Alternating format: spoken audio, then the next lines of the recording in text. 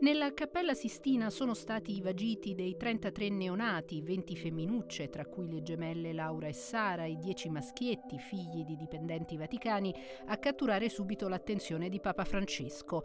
Celebrando la Santa Messa col rito del battesimo per questi bambini nel giorno che ricorda quello di Gesù, il pontefice ha esortato i genitori, i padrini, i parenti a dare il giusto esempio ai piccoli, leggendo quotidianamente il Vangelo e non solo.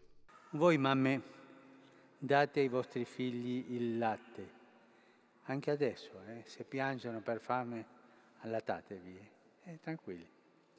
Ringraziamo il Signore per il dono del latte e preghiamo per quelle mamme, sono tante purtroppo, che non sono in condizione di dare da mangiare ai suoi figli.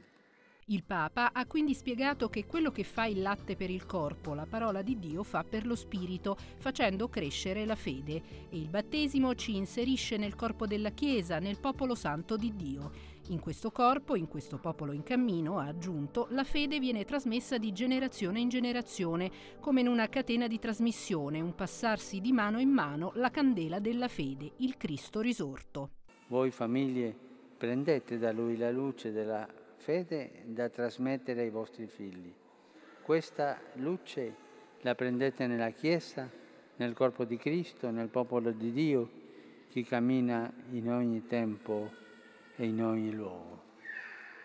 Insegnatevi ai vostri figli che non si può essere cristiano fuori dalla Chiesa. Non si può seguire Gesù Cristo senza la Chiesa, perché la Chiesa è madre e ci fa crescere nell'amore a Gesù Cristo. E l'essere cristiani nel battesimo significa essere consacrati nello Spirito Santo, nello stesso spirito in cui è stato immerso Gesù nella sua esistenza terrena.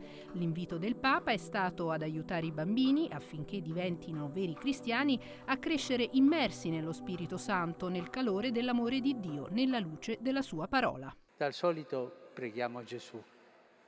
Quando preghiamo il Padre nostro, preghiamo il Padre ma lo Spirito Santo non lo preghiamo tanto. È tanto importante pregare lo Spirito Santo perché ci insegna a portare avanti la famiglia, a portare i bambini, perché questi bambini crescano in questa atmosfera della Trinità Santa. È proprio lo Spirito che li porta avanti. Per questo non dimenticate di invocare spesso lo Spirito Santo tutti i giorni.